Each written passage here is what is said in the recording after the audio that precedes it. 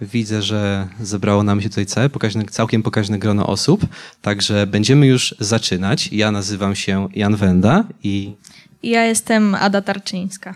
I my jesteśmy z Rady Młodzieżowej Łomianek oraz zaprosiliśmy Was Państwa tutaj na kolejny już, e, kolejną odsłonę cyklu Warto Rozmawiać o. Pierwszym naszym gościem był pan Marek Frankowiak, który przyszedł do nas prawie miesiąc temu porozmawiać o ogólnie problemach młodzieży. Dzisiaj natomiast naszym gościem jest pani Sasza Sidorenko. Zapraszamy panią. Jeszcze napomnę, że projekt Warto Rozmawiać o organizowany jest wspólnie z Radą Młodzieżową Łomianek oraz Centrum Kultury w Łomiankach. Z Saszą dzisiaj porozmawiamy natomiast o szczęściu.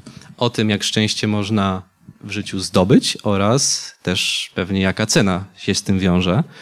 E, także mamy tutaj listę pytań. E, zaczniemy może... A w sumie przywitajmy się. Witaj Saszo. Cześć. Fajnie, że dzisiaj jest możliwość opowiedzieć. E, mam nadzieję, że wszyscy, którzy przyszli, będzie ciekawe posłuchać moją historię. Jesteśmy przygotowani. Pewnie będziesz miał okazję powiedzieć bardzo wiele historii, bo mamy tutaj praktycznie jedną kartkę, cztery. Z tyłu i z przodu. Ale poczekaj, dzisiaj piątek. Wszyscy chcą na pewno pójść gdzieś na piwo, więc spokojnie. Będę starała się e, za długo nie trzymać publikę. O, e, jeszcze powinienem o tym wspomnieć. E, jak skończymy część rozmowy, będzie można zostać chwileczkę tutaj po, bo Sasza zaproponowała, że zorganizuje mały pokaz, który na pewno będzie bardzo ciekawy. Jeżeli ktoś chciałby zobaczyć profesjonalistę w pracy, to można chwileczkę po spotkaniu zostać. Nie zajmie to długo, ale w każdym razie.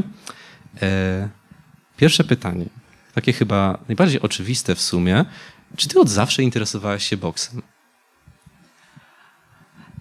Jeżeli być szczerą, a mam zamiar dzisiaj właśnie tylko tak e, prowadzić rozmowy, to e, pamiętam odkąd siebie pamiętam, to tak, zawsze interesował mnie może niekoniecznie boks, ale zawsze lubiłam się bić i y, pamiętam, że już miałam takie przeddyspozycje mm, w przedszkole, gdzie tata mnie zawsze zaprowadzał i kończyło się to y, tymi, że mm, zbieraliśmy się razem z dziewczynami z, w przedszkolu i walczyliśmy y, dokładnie o wszystko, o o pierwszy rząd, o e, kto dostanie, a kto nie, więc odkąd siebie pamiętam, lubiłam po prostu e, komuś wpakować. więc i tak naprawdę zostało to prawdzie, e, po, mm, po prawdzie do dziś. Tylko, że sport nauczył to mnie takiej dyscypliny i że zawsze to e, lepiej robić w cywilizowany sposób, w sportowym klubie, a jeszcze lepiej na e, ringu wyższych osiągnięć. Um, to jeszcze do, nawiązując do Twoich e, początków, to co tak naprawdę dawało Ci motywację, gdy zaczynałaś właśnie swoją karierę? Motywacja to e, wtedy, kiedy jeżeli ja na przykład siedzę w domu, włączam telewizję, a lubię oglądać sportowe kanały i widzę tam zawodniczy, który, z którymi e, pamiętam walczyłam jeszcze w amatorskim boksie, a to jest zawodniczki najwyższych osiągnięć, to znaczy mistrzyni świata Katie Taylor. Patrzę jak ona boksuje, jak ona wygrywa i myślę sobie, albo Natalia Jones, myślę, że kurczę, to jest te wszystkie dziewczyny, z którymi walczyłam w amatorskim boksie. Z niektórymi wygrywałam, z niektórymi przegrywałam, ale teraz to jest mistrzyni Europy, mistrzyni świata wielokrotna.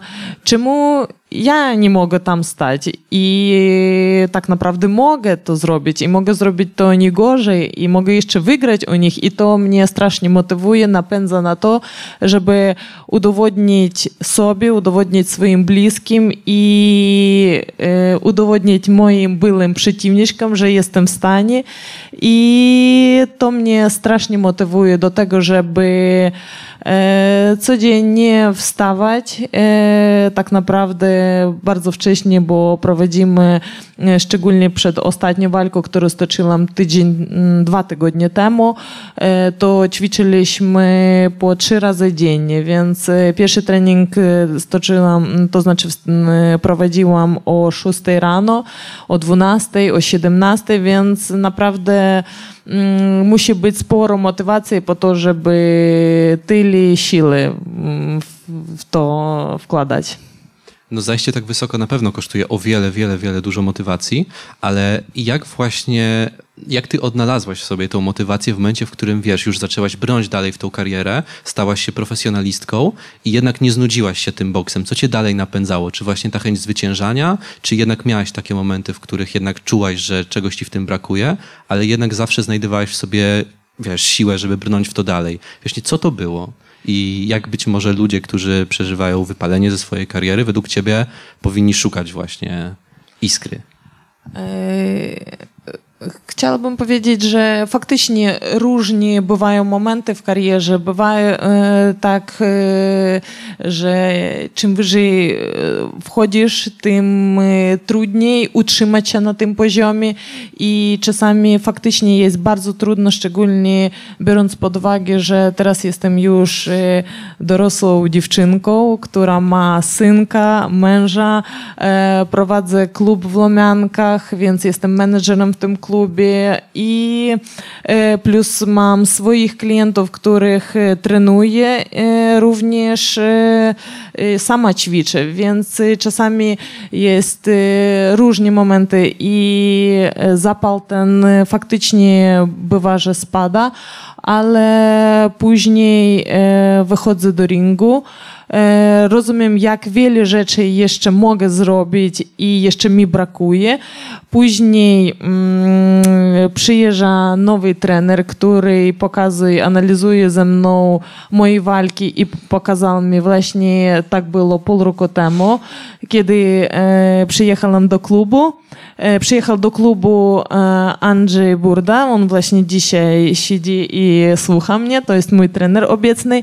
Razem z nim e, spotkaliśmy się pół roku temu, przyjechał i pokazał mi, po prostu zrobił ze mną dokładną analizę mojej walki i pokazał, jak wiele rzeczy jeszcze mogę zrobić i nie zrobiłam.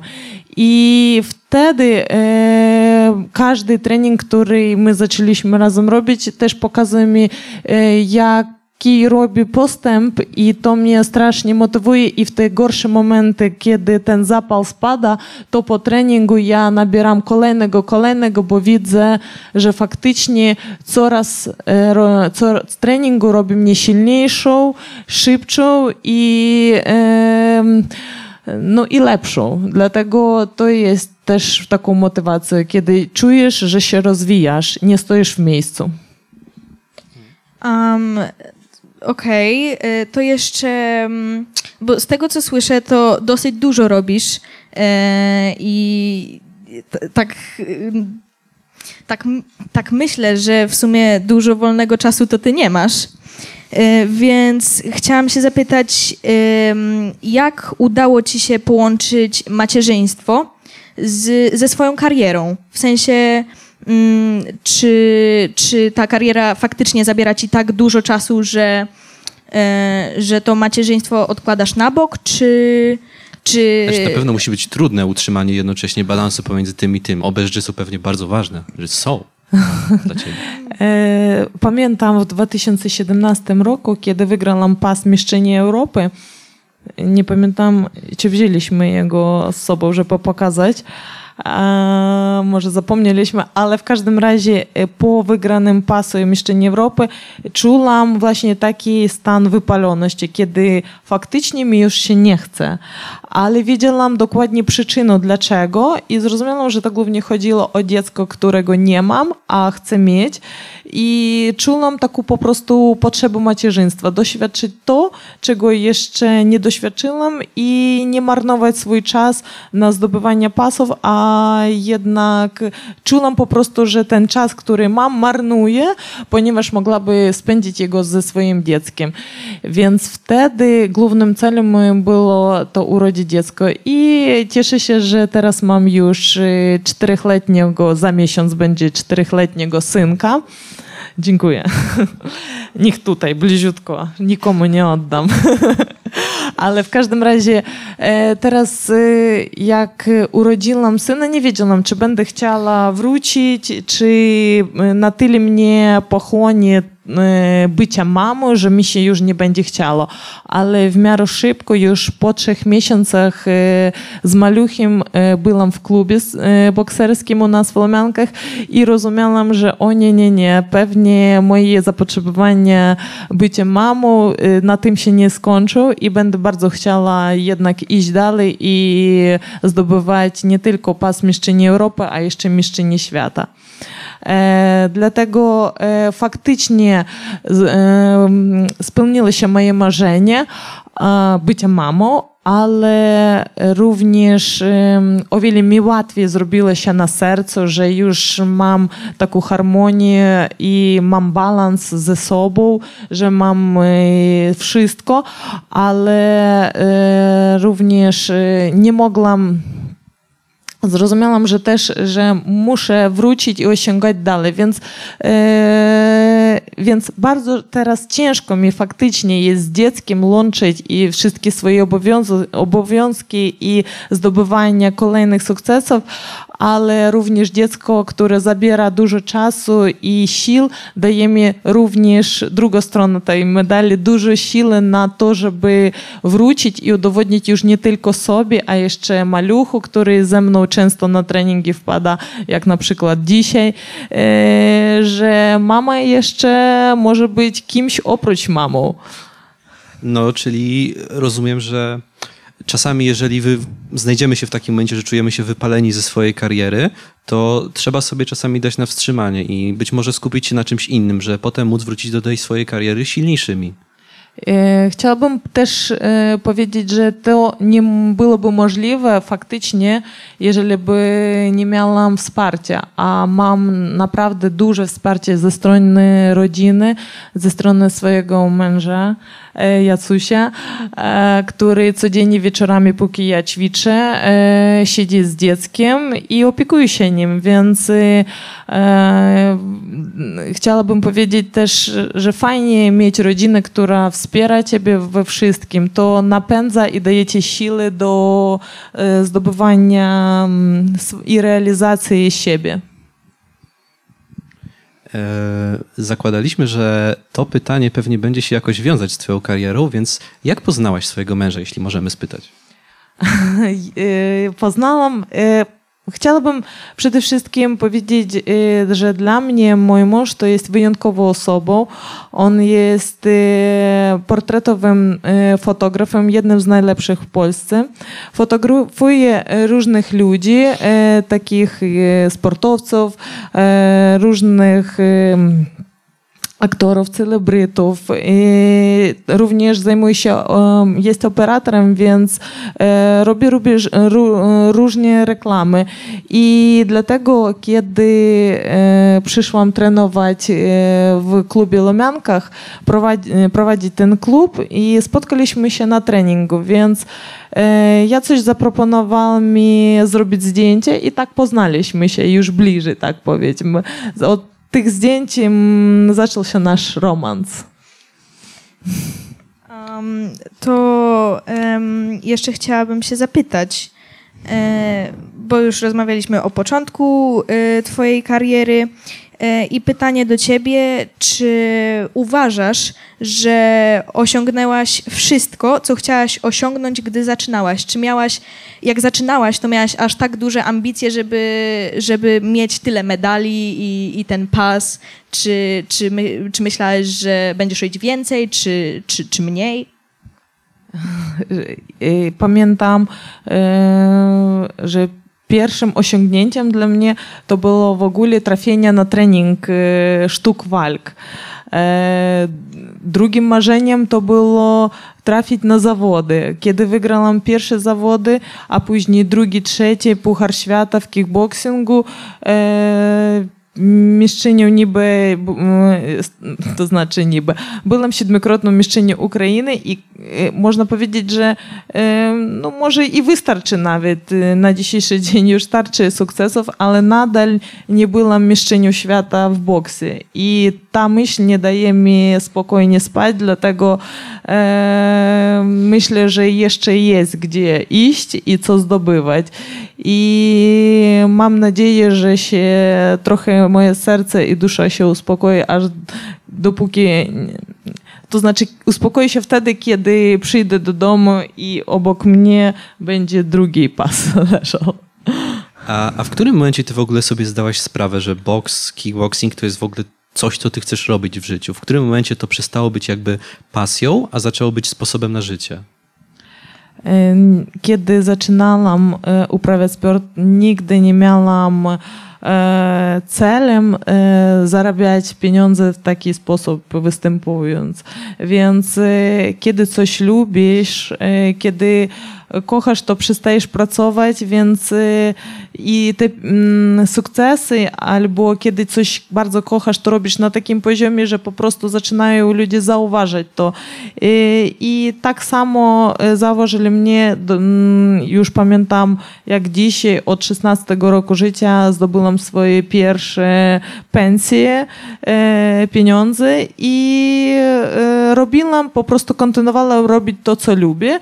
I w taki sposób y, pieniądze sami przychodzili do mnie, więc nigdy nie stawiałam celu zarobków, a tylko, mm, tylko chciałam y, realizacji i udowodnić sobie, że warta jestem czegoś więcej niż to. I tak to się przekłada później na zarobek. I w moim przypadku też, co prawda, też chciałabym zauważyć, że jednak y, do dzisiaj jest mocna dyskryminacja e, kobiet w sporcie i zarobkowo to też bardzo mocno się jednak różni od zarobków facetów. E, co też uważam już się zmienia i kobiety e, bardzo pokazali boks na dobrym poziomie i już można powiedzieć w zeszłym roku, no ale jeszcze no, w 2001 roku e, pierwszy raz kobieta zarobiła milion e, w ringu, ale w porównaniu znowu taki do zarobków facetów to jeszcze daleko. Mm, mamy pytanie z widowni, jeśli dobrze zrozumiałem. A, nie mamy, przepraszam, pomyliłem się. Mogę dodać, że milion dolarów, żeby było jasne, a to nie wiadomo. A, o Jezu, przepraszam, w ogóle no. o tym nie wspomniałem, aczkolwiek jest możliwość zadawania pytań. Jeśli ktoś na widowni chciałby zadać pytanie do Saszy, to mamy kolegę, który nosi mikrofon, więc wystarczy podnieść rękę i no, podejdzie. No właśnie słyszę, mam pytanie. pytanie o ile zarabiają faceci, no jeżeli brać najlepszą e, najlepszego sportowca e, w boksie takiego jak Mayweather na przykład, który boksował, no to zarabiał 44, 50, 60 milionów dolarów. E, natomiast e, najlepsza dziewczyna, która jest zdobywczynią wszystkich pasów w mistrzyni świata, zdobyła właśnie w tym roku milion dolarów, więc nadal te zarobki bardzo się różnią. Ale myślę, że niedługo to się zmieni. Naprawdę idziemy bardzo szybko w kierunku takiego wyrównania. Mam nadzieję.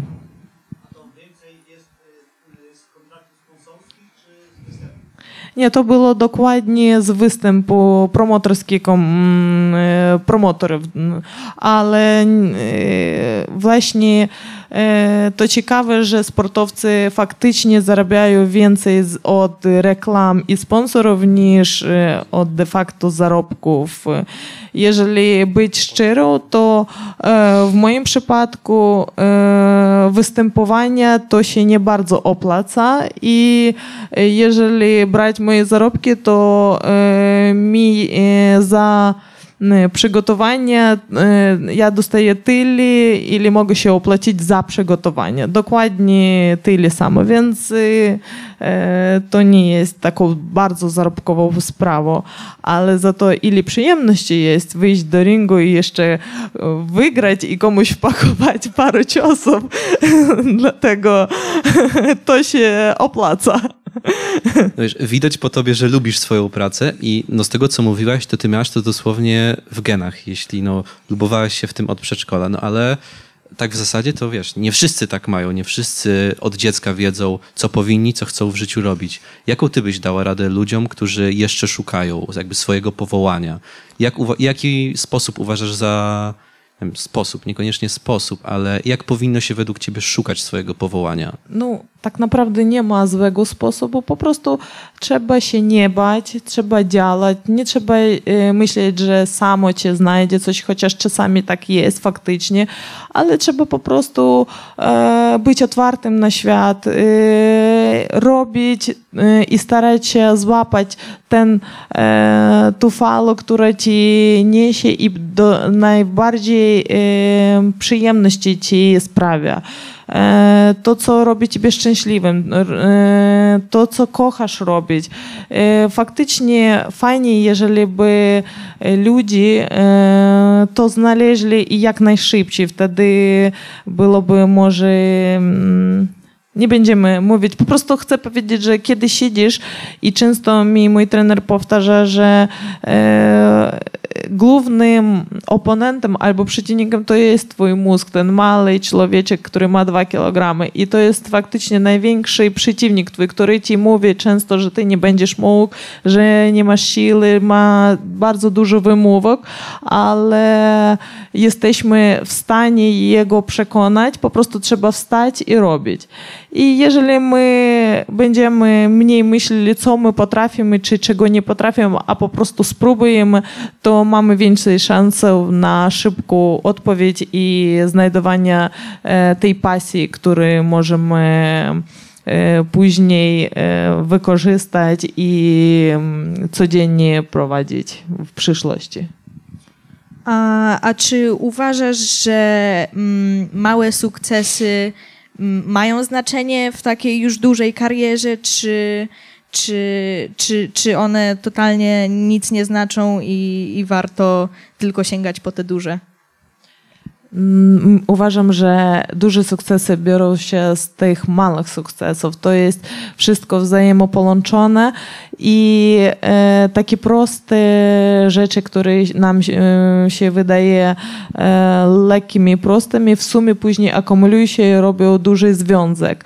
Więc e, małe trzeba zawsze ja na przykład e, bardzo często mogę uważać, że zrobiłam to źle, czy to nie tak, ale kiedy mnie pochwalą i często trener mówi tak, no, że fajnie, popatrz, nie ci się udaje, że nie jest tak źle. Ten mały sukces powoduje, że mi się chce dalej robić i dalej, więc trzeba zauważać takie rzeczy, zauważać te małe szczegóły i te małe sprawy, które sprawiają, że, e, że chcecie się iść dalej po te wielkie. Więc trzeba zauważać, że jeżeli ty wstałeś, ubrałeś się i zmusiłeś siebie wyjść z domu i zrobić ten pierwszy krok, to już jest mały sukces. Jeżeli ty e, zawalczyłeś i zwalczyłeś właśnie z tym sprzeciwem, który u ciebie w głowie, to też jest sukces. Kiedy mnie pytają na treningach dziewczyny, a że jeżeli ja wyjdę do ringu i dostanę cios, ale ja mówię, jeżeli ty już wejdziesz do tego ringu, przekroczysz tu granicę, albo przekroczysz granicę klubu, że wejdziesz do klubu i zapytasz o zajęcia, to już jest mały sukces, który pozwala rozwinąć się i sprawdzić dla siebie, czy tak naprawdę to naprawdę twoje, czy nie, ale zawsze warto nie bać się i iść po te małe rzeczy, których wynika później duże. E, przypominam jeszcze raz o możliwości zadawania pytań. Wystarczy podnieść rękę. E, a powiedz mi, Sasza, w takim razie, kiedy zaczynałaś dopiero, albo dopiero rozwijałaś tą swoją karierę, z czym miałeś największą trudność, aby w sobie zmienić? Co musiałeś w sobie zmienić, żeby móc się rozwijać? Co sprawiło ci największą trudność przy walce z samą sobą, tak naprawdę? E, szczerze mówiąc, aż tak nie pamiętam, żebym miała e, takie walki sama z sobą. Bardziej pamiętam e, zewnętrzny opór, który sprawiali mi, ponieważ e, pierwszy raz jak weszłam do bokserskiego klubu, to trener od razu, było tam 30, 30 chłopaków, których ćwiczyli i trener od razu powiedział mi, że nie będzie trenował kobiet, ponieważ nie uważa, że to jest kobiecy sport, więc wybacz, ale i faktycznie przez 4 lata nie zwrócił ani razu uwagi, więc ćwiczyłam ciągle przez ten czas wśród tylko chłopaków. Pamiętam również takie momenty, kiedy wyprowadzono mnie z klubu bokserskiego, ponieważ jestem dziewczyną i oglądać jak sparują chłopaki, to też nie jest dla dziewczyn. Co ciekawego, że później jak już wygrałam Mistrzostwa Ukrainy, to byłam zaproszona do tego klubu i przynosił mi ręcznik i powiedział, chodź dziecko, to jest twoja szatnia i wszystko się zmieniało, ale przez ten czas trzeba było przejść i faktycznie to nie było łatwe i bardzo często nadal spotykamy się z takim, że kobiety już, można powiedzieć, przekroczyli te granice i już nie ma znaczenia, czy to facet, czy to dziewczyna, czy to chłopak ćwiczy boks, ale, ale piszą do mnie dużo różnych dziewczyn i mówią, że faktycznie facet jest bardziej mile widziany w klubie niż dziewczyna i że czują różnicę zachowań. Więc takie małe rzeczy działy się i działy się nadal. Ja osobiście już nie czuję tego. Zawsze wchodzę do klubu jak do siebie do domu i również do innych klubów, ale też był taki moment, kiedy przyszłam z małym dzieckiem, kiedy moje dziecko jeszcze nie miało roku życia, więc był maluch i była niania. I trener powiedział, że co ona tutaj robi, dlaczego ona tutaj chodzi i tutaj z dzieckiem. Ja mówię, poczekaj, poczekaj, to jest moje dziecko, a to jest dziewczyna, która jest mistrzyni świata z arm wrestlingu. Jak on zdziwiony popatrzył, pomyślał, faktycznie, faktycznie ta dziewczyna nie była mistrzynią świata z wrestlingu, ale specjalnie tak powiedziała, jak patrzyłam, jak on od razu nabrał się do tej dziewczyny szacunku ta dziewczyna też stała, nie wiedziała jak się zachować, ale to był fajny przykład, że się da ćwiczyć boks i że się da z dzieckiem ćwiczyć i trzeba po prostu przełamywać te granice i stereotypy. Mamy, mamy pytanie z widowni, chwilę. Saszka, rozumiem, że u ciebie w klubie w Łomiankach może trenować każdy, ale żeby trenować z tobą, czy trzeba mieć już jakieś podstawy, czy, czy uczysz od początku? Czy trzeba być na jakimś już poziomie, żeby, żeby móc z tobą, do ciebie na przykład na lekcję się zapisać, jeśli jest oczywiście taka opcja? E, szczerze mówiąc, zawsze e, kiedy przygotowuję się, to szukamy sparring partnerów, więc jeżeli ktoś będzie chciał, to śmiało zapraszam do nas, bo potrzebujemy, bo e, to jest problem, ale jeżeli ktoś chce poćwiczyć i faktycznie, żebym ja poprowadziła trening, to to nie ma żadnego problemu, ponieważ e, bardzo mm, uwielbiam trenować ludzi, e, uwielbiam odkrywać im podstawy boksu i pokazywać, jaki to ciekawy sport, bo uważam faktycznie to jest bardzo inteligentny sport, gdzie trzeba bardzo szybko przyjmować decyzje, a jeszcze robić to w sposób zabawy. I faktycznie nie musimy dostawać, a możemy się bawić tym sportem, uczyć się podstaw i dopiero wtedy, jak ktoś chce e, zrozumieć i pójść dalej, można zakładać rękawice i ćwiczyć to kontaktowo w parach. Więc zawsze znajdziemy opcję dla każdego I to jest właśnie fajnie w tym sporcie, że nie musimy się bić, albo jeżeli chcemy, to możemy bić to zawsze używając rękawic, kasków, więc robić to w bezpieczny sposób. Dlatego e, również uważam, że to jest e, składno-koordynacyjny sport, trudny sport, gdzie trzeba e, umieć angażować e, wszystkie partie mięśniowe, plus e, ważne jest jako szybkość, e, siła, wytrzymałość i spryt. I właśnie uczymy tego rozwiązania, szybkiego rozwiązania trudnych sytuacjach, co dodaje plus później pewność, pewność siebie psychicznie, to znaczy kształtuje nas nie tylko nasze ciało, a jeszcze naszą psychikę. Dlatego e, my uczymy tego i zapraszam oczywiście na swoje treningi plus na treningi naszych trenerów, którzy pracują u nas w klubie, ponieważ to jest osoby wykształcone, które wiedzą, jak podejść i jak podpasować program specjalny stworzony dla każdej osoby pod jej chęci. Plus no, mamy dobrych specjalistów, dlatego mogę z pewnością polecić nasze miejsce dla zajęć.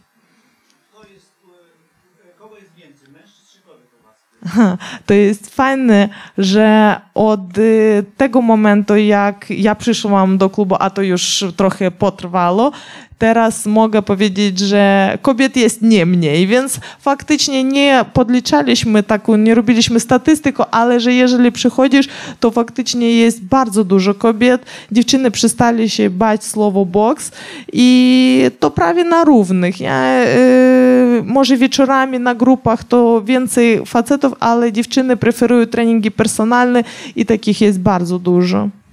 I w różnym wieku. To co ciekawe, że e, możliwe najstarsza, bo ja nigdy nie pytam o wiek, bo mnie wiek generalnie nie interesuje. Uważam, że można robić to w każdym wieku.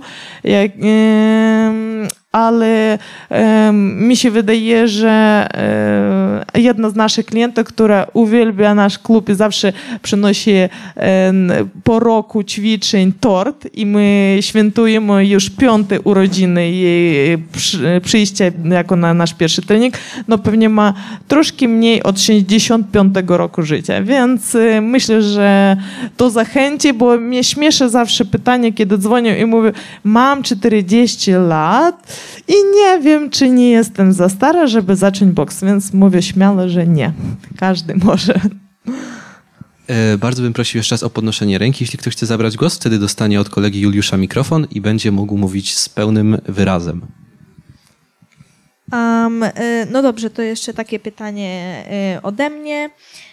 Czy generalnie prowadzenie takiego klubu jest ciężkie i czy dużo, dużo czasu ci to zabiera, tak generalnie prowadzenie? E, generalnie tak, e, ale nie robię to sama. E, całe szczęście, bo pewnie nie dałabym rady. Robię to wspólnie ze swoim mężem. E, on głównie e, tak naprawdę zajmuje się klubem w tych momentach, kiedy ja przygotowuję się do walki. Czasami ja na tyle zapędzam się w obowiązkach i w trenowaniach innych ludzi i jeszcze siebie, że też również po rozmowie z moim trenerem, który mi mówi, że Sasza się nie da, musisz przed walką odpuścić sobie trochę, co jest dla mnie trudne mega, ale ja to robię, więc przestaję na jakiś czas trenować bezpośrednio przed walką y, ludzi, moich klientów i podopiecznych y, i y, przekazuję te obowiązki na swoich trenerów, a Jacek przyjmuje więcej obowiązków menedżera jako klubu, ale dajemy rady. Podoba mi się, że e, mamy wielu chętnych, ale również zawsze może być więcej, więc e, zapraszam jak najbardziej. A powiedz mi proszę, jaka była twoja najcięższa porażka? Bo w takim sporcie jak boks porażki muszą się zdarzać, nawet takim profesjonalistkom jak ty. I jak ty sobie z taką wielką porażką, jeśli taka była, poradziłaś i kto ci być może w tym pomógł? Mm, po, pamiętam swoją pierwszą porażkę, która przychodzi mi do głowy, to kiedy w wieku 12 lat przyszłam pierwszy raz, po raz pierwszy, ale bardzo marzyłam, żeby przyjść na sztuki walki, na trening i tutaj się otworzyła sekcja karate. Przyszłam na takie zajęcie. Pamiętam bez stroju sportowego w dżinsach, jak dzisiaj pamiętam wyglądała w dżinsach, w koszulce, ale mega chciałam się ćwiczyć i więc od razu stałam pier do pierwszego rządu, z którego byłam wyprowadzona na ostatni rząd jako początkującej, bo w pierwszym stali ci najlepsi w kimono z czarnymi pasami, więc to było emocjonalnie dla mnie pierwsza porażka, że nie stoję w tym pierwszym rządzie i że chciałabym jednak być wśród tych lepszych. Druga zawodowa porażka, porażkę uważam jako występy na Mistrzostwach Europy z karate, gdzie trafiłam tak dziewczynę, że ona spadła pod sędziowski stolik i byłam dyskwalifikowana za przewyższenie siły, więc obraziłam się tak mocno na ten sport karate, że przestałam jego od tego czasu uprawiać i tylko znalazłam już bardziej kontaktowy i praktyczny sport jak kickboxing, a później boks. Więc faktycznie każda porażka Najważniejsze jest to, jak my podchodzimy, czy wstajemy, czy robimy dobry analiz i dalej poprawiamy swoje błędy. To jest najcenniejsze, to doświadczenie, które zdobywamy, e, zdobywając porażki. Dlatego e, ważne, jeżeli chcemy czegoś osiągnąć, to czy wstaniemy i przejdziemy przez to.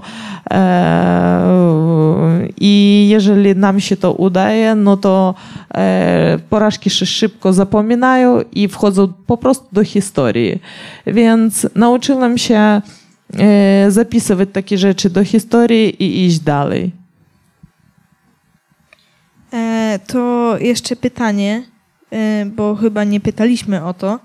E, bo tam e, coś wspominałaś e, o tym karate i czy taki pierwotny pomysł to, żeby właśnie w tym karate być, być tą specjalistką, tak zajmować się, w sensie, że czy myślałaś, że karate będzie twoją karierą, tak jak teraz właśnie jest boks?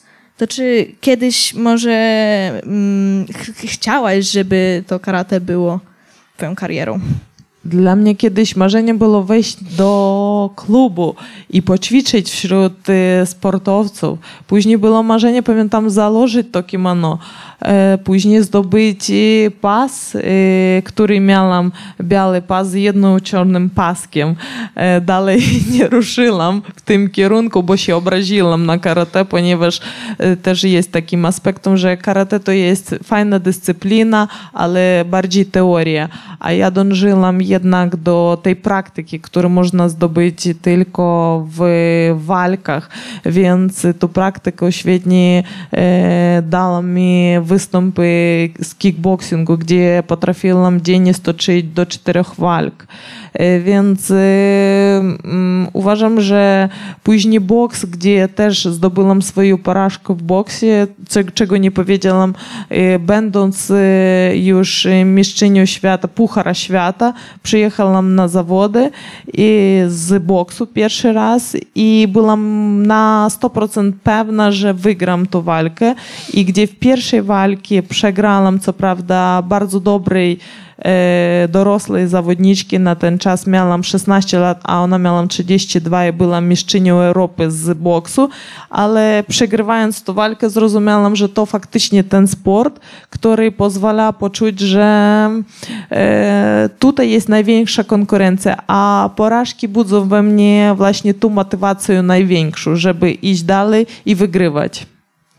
No, czyli kluczem, żeby wyciągnąć coś z porażek, jest po prostu wyciąganie z nich wniosków. A w takim razie powiedz mi, bo powiedziałaś, że po raz pierwszy przyszłaś do klubu bokserskiego, ogólnie chyba klubu, mhm. jak miałaś 12 lat, tak? Tak.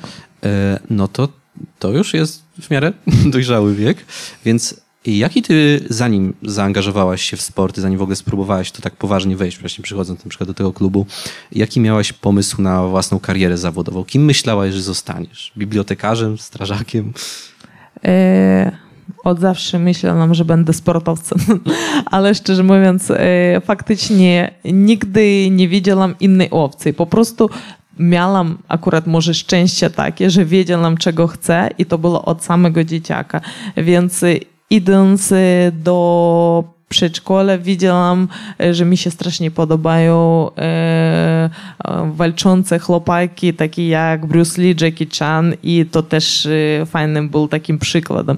Idąc e, później e, dla mnie było takim fajnym wejść do klubu. Pierwsze zawody to były mega celu, że pojechać tylko by na te zawody, a kiedy się udało wygrać, to to w ogóle nie spodziewałam się tego, więc ten nie było od razu zbudowanych jakichś mega celów, żeby być, być najlepszym. Robiłam to stopniowo, małymi kroczkami i jak się udawało, to fajnie, ale jak się nie udawało, to jeszcze bardziej mnie motywowało po to, żeby się udało. Więc jak to się mówi, małymi kroczkami.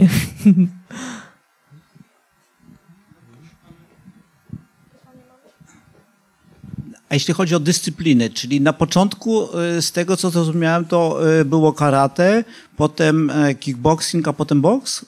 Dokładnie, tak. I boks, y, myślę, że to już e, będzie ostatnia dyscyplina. No albo mi zaproponują takie miliony, że mi się będzie chciało wejść do tej klatki i jednak ich zarobić. Miałam propozycję, ale wszystko jest fajnie, wygląda ekstra, tylko że do tej klatki nie chce się wchodzić.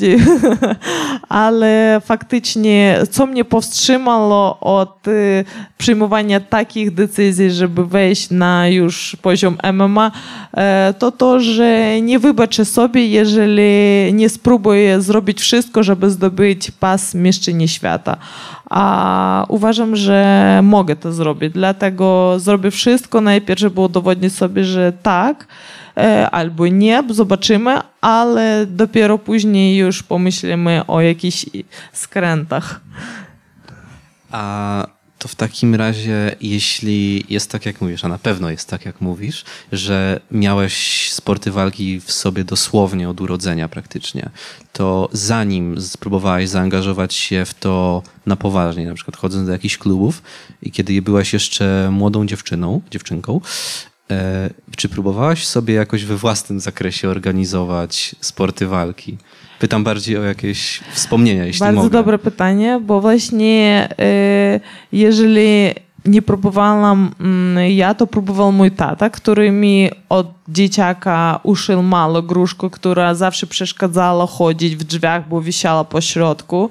E, później on e, szył duży worek, który zawsze e, denerwował mamę, która nie, nie mogła w korytarze, i tak niedużym korytarze, ale wisiał duży worek, który też zajmował pół naszego korytarzu w domu, więc od dzieciaka bardzo mnie wspierał i pamiętam, że w, w każdą sobotę walczyliśmy razem z tatą i nie zawsze mi się udawało wygrywać, więc czasami się kończyli się te bójki łzami na oczach, a po krótkiej przerwie wracałem i wrzucałem się znowu do niego ze złością, żeby e, udowodnić jemu, że jednak e, jestem w stanie jego pokonać.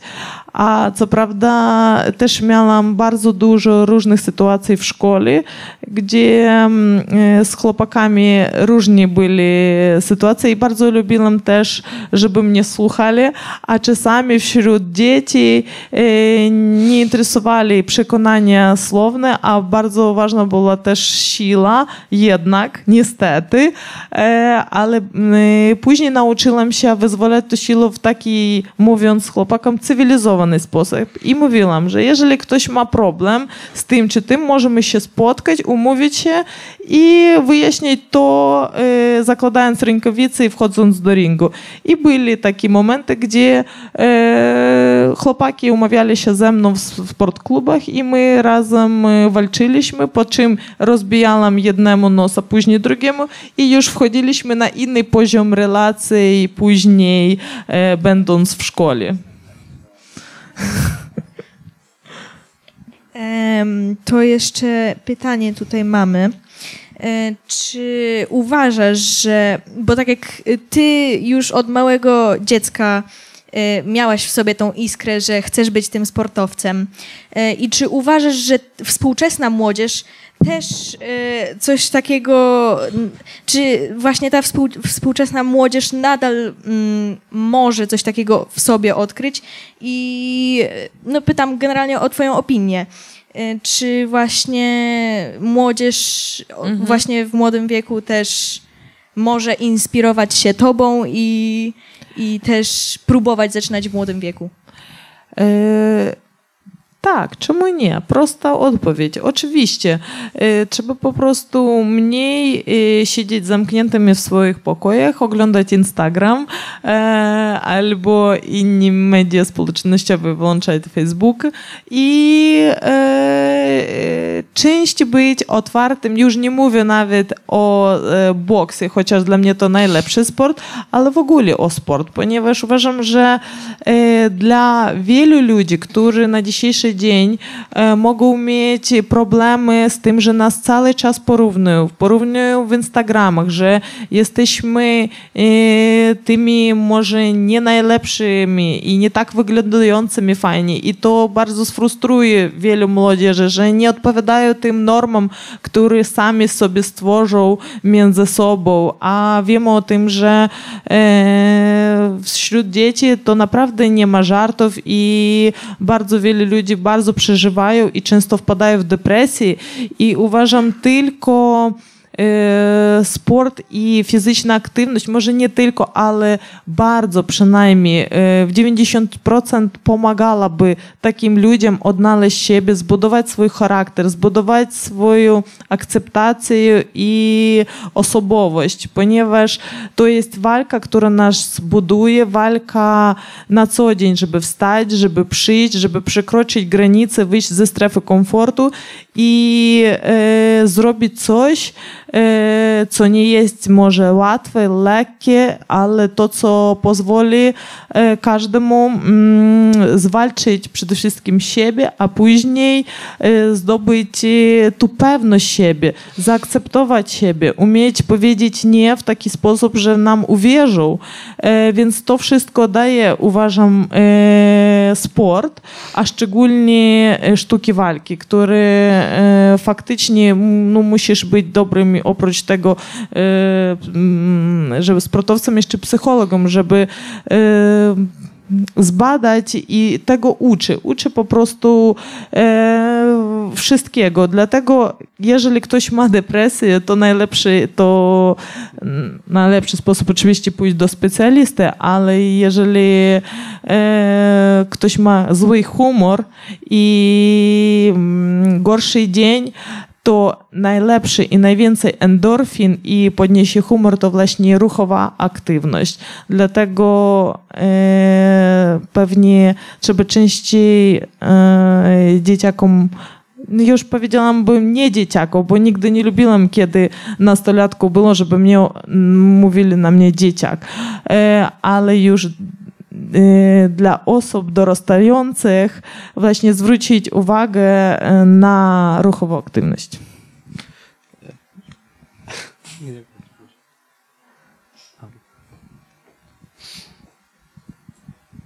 To w takim razie ja jako mama chciałam zapytać ciebie, w jaki sposób e, motywować swoje dzieci do tego właśnie mm, sportowego, jakby e, do tych zajęć sportowych, kiedy, nie wiem, no widzisz, że nie przewijają jakichś specjalnych zainteresowań w tym kierunku i jak ty, czy ty swoje dziecko motywujesz w jakiś sposób w tej chwili, czy po prostu bierze przykład z ciebie? Ja bym bardzo chciała, żeby mój dzieciak brał ze mnie przykład, ale przez y, ostatni tydzień e, dostałam z dwóch e, miejsc, to znaczy z akrobatyki słowo nie, że jeszcze mały, jeszcze się musi dorosnąć. Z tanecznych zajęć też powiedzieli, że jeszcze się nie nadaje, bo jest takim e, świrkiem, który nie słucha, wariuje, robi swoje i się nie nadaje. E, W sobotę jedziemy na basen i prawie to jedyna rzecz, która mu sprawia przyjemność i jeszcze jakoś trzyma jego w tym e, trybie aktywności.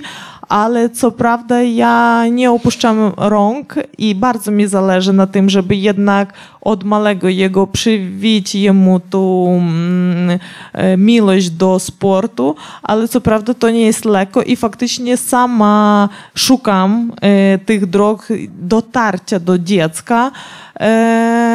I ciężko mi powiedzieć, ponieważ każdy ma swoje, swój sposób wpływu na dziecko i to trzeba eksperymentować, próbować, ale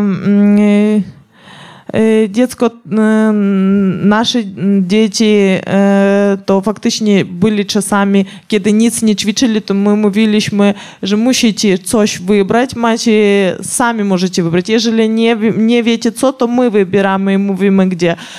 Czasami też przymusowo nawet, czasami daje to sens, żeby zmusić, żeby dziecko przekroczyło jednak te granice i weszło do klubu, więc czasami no, takimi metodami, ja nie jestem oczywiście specjalistą, ale żeby tylko zmusić jego zaprowadzić do klubu. Wtedy ja mówię już rodzicom, tam dalej to jest już nasze zadanie zaopiekować się dzieckiem, więc wasze zadanie tylko jego pod wpychnąć tam do nas, a my już przyjmiemy i zrobimy tak, żeby ono zostało i żeby zachęcić i utrzymać tą chęć. Więc tutaj musicie już pomyśleć wy jak lepiej, ale często też słyszałam rozmawiając ze swoimi znajomymi przyjaciółmi, którzy ćwiczyli razem ze mną, że faktycznie też nie chciały strasznie, ale wdzięcznie teraz jest swoim rodzicom tata, którzy zmusili ich jednak przyjść i później u nich to zostało i u, ukorzeniło się ta e, chęć kontynuować te zajęcia. Więc e, czasami się nie da w dobry sposób, po prostu chcę powiedzieć. Co mówić takim osobom, które e, mimo swojego potencjału nie, nie dążą po prostu do sukcesu, bo w siebie nie wierzą i y, myślą, że nie są w stanie go osiągnąć, mimo że mają do tego jakiś potencjał. No, na to by powiedział mój trener, wy mówicie, to mówi ten wasz mały człowieczek, dwukilogramowy mózg, który siedzi u was i musicie zawalczyć o to. On, nie on wami rządzi, a wy nim. Więc to e, ci, którzy nie wierzą z siebie, oczywiście nigdy nie uwierzą, jeżeli nie postarają się zrobić coś w tym kierunku. I te małe sukcesy, które e, który podbudowują trener z podopiecznym, biorąc, dając mu piłkę i mówią zrób dwa razy, a teraz zrobiłeś więcej.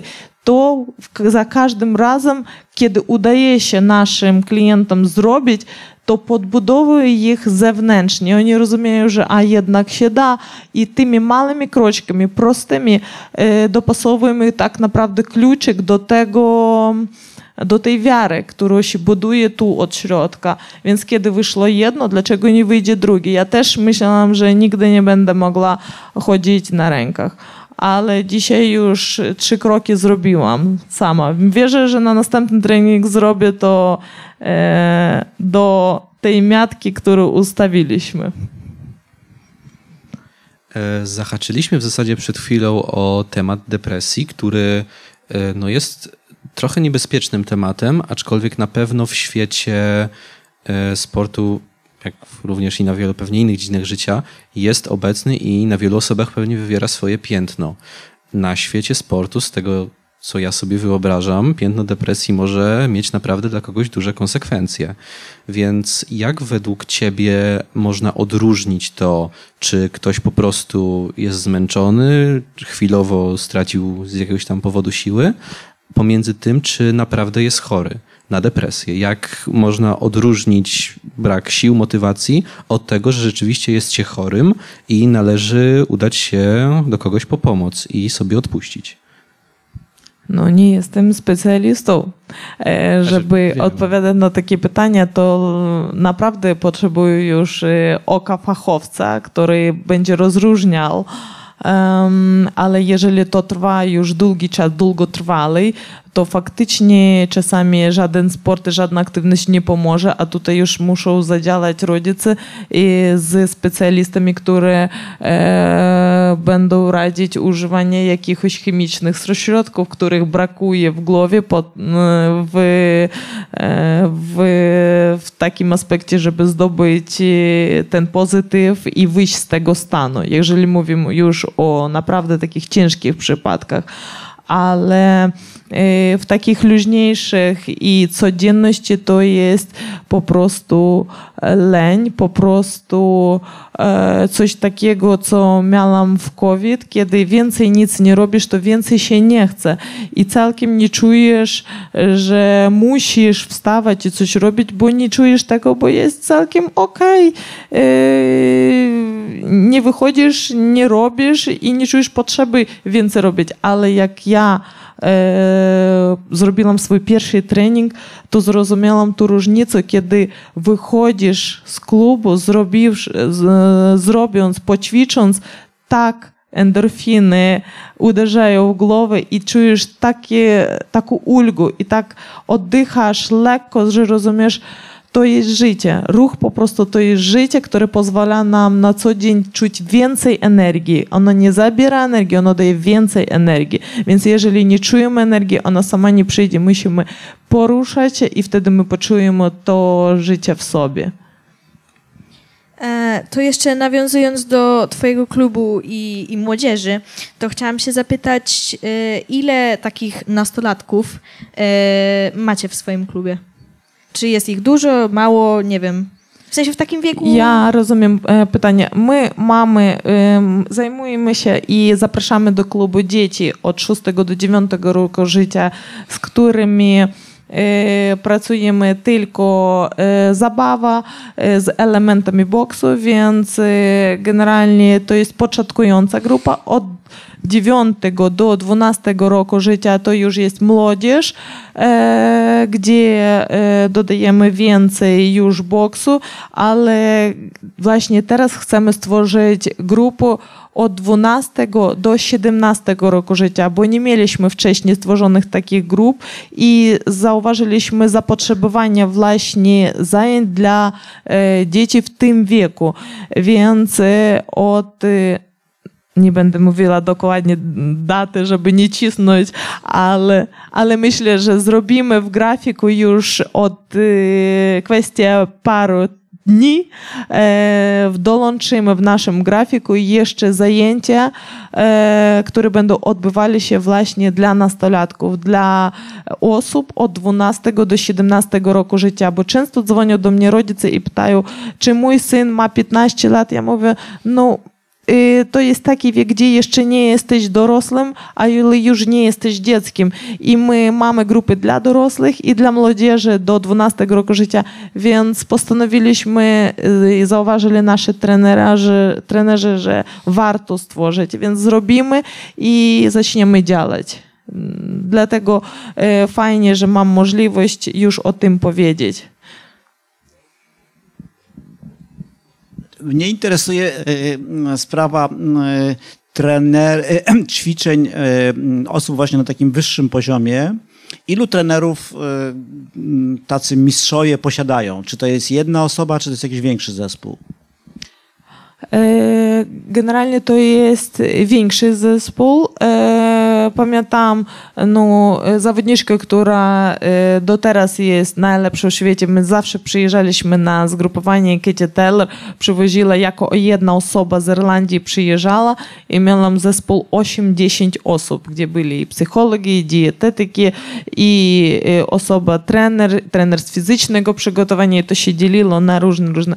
Więc e, ja miałam w swojej ekipie dwójkę trenerów. Trenera od fizycznego przygotowania i od technicznego, od boksu, stricte boksu. Na dzisiejszy dzień ja, na dzisiejszy dzień dwa tygodnie temu stoczyłam walkę z Serbką i byłam przygotowana przez jednego trenera, e, Andrzeju Burda, który e, ma mm, bardzo e, fajne podejście i bardzo ciekawe reprezentuje boks. Właśnie bardzo ciekawe, ponieważ podaje ten boks przez zabawę, przez ciekawe e, doświadczenie i mm, mi e, sprawia tak, że mi się nie nudzi na takich treningach. Dlatego, e, dlatego mm, jeżeli brać, to ja mam jednego trenera, z którego jestem bardzo zadowolona. To znaczy, ja się zastanawiam w ogóle nad tą sprawą, e, na tych zajęciach, tych powiedzmy klubowych, tak? Czy jeżeli na przykład, no, kto ja kiedyś też uprawiałem, ale akurat nie taki sport, i brakowało właśnie tego e, wsparcia psychologicznego, bo mi się wydaje, że w tych grupach no, jest wiele osób, które mają jakieś talenty, mogą uzyskiwać jakieś właśnie wyniki na przykład Dokładnie, e, tak. siłowe, czy wytrzymałościowe, czy jakiekolwiek inne. Natomiast e, żeby pójść ten krok do góry, no to jednak potrzebują z tego wsparcia psychologicznego. I mi się wydaje, że tego nie ma w klubach. Albo jest bardzo mało. E, Powiedzmy, już e, to się zmienia i wprowadzają różne takie trening mentalny, trenerów mentalnego przygotowania i tak pewnie to ma sens. E, Natomiast mi poszczęściło z wyborem trenera, ponieważ mój trener ma trzy wyższych wykształcenia w strefie psychologii, sportu i pedagogiki.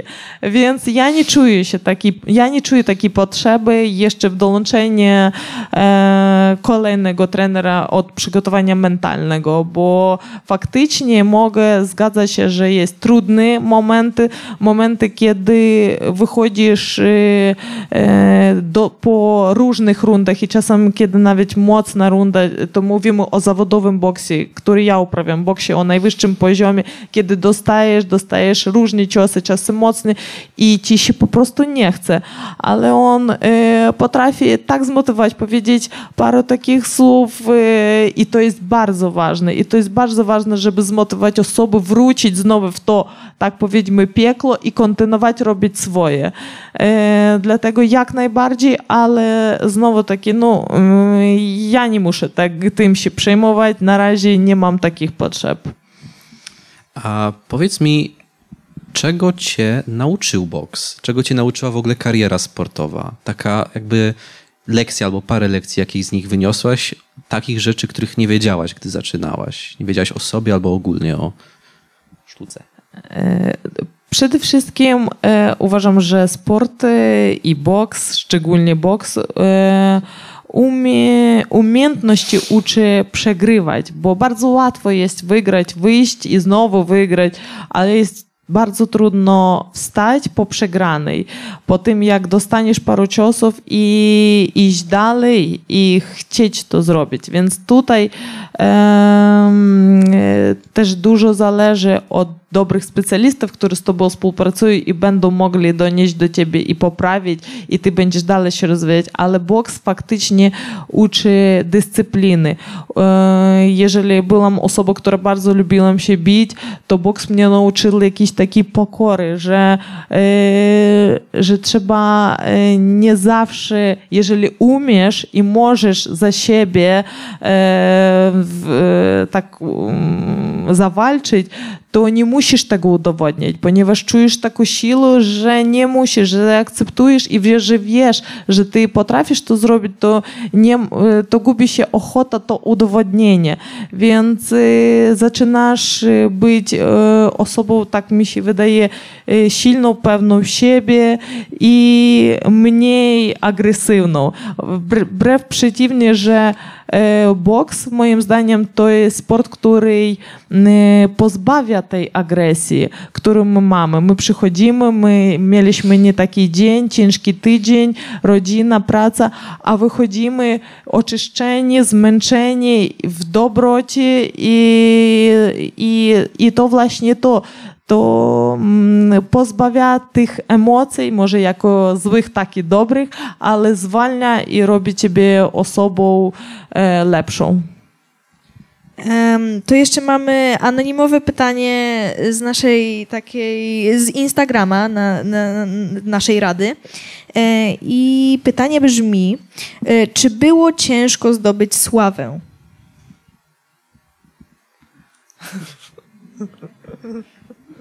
A czy jestem sławna? Drugie pytanie. Ja bym powiedziała, że tak. No.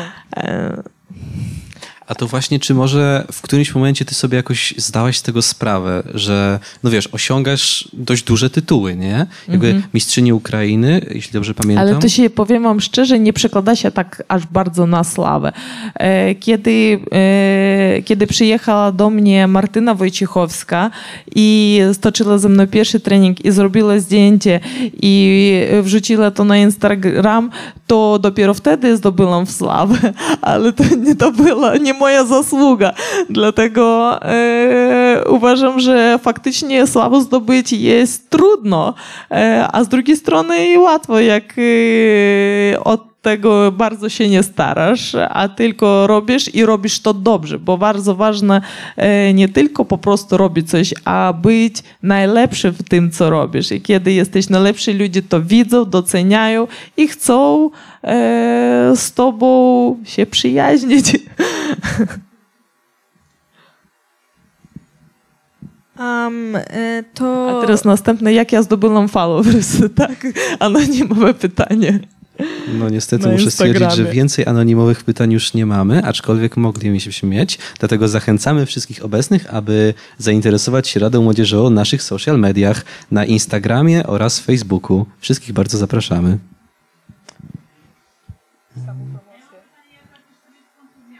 Y, mi- mi- Mikrofon bym prosił. Chciałam zapytać, jak radzisz sobie z kontuzjami, bo to jest taki sport, który chyba jakby często dotyka, dotykają cię jakieś kontuzje. I czy, czy, czy często i czy jak sobie radzisz później, żeby wrócić do formy?